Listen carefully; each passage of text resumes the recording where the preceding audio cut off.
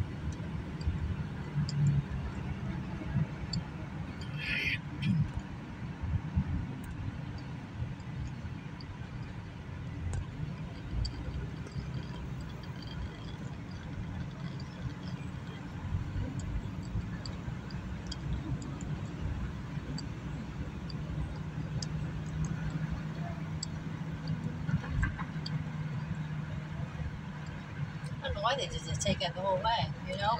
Yeah.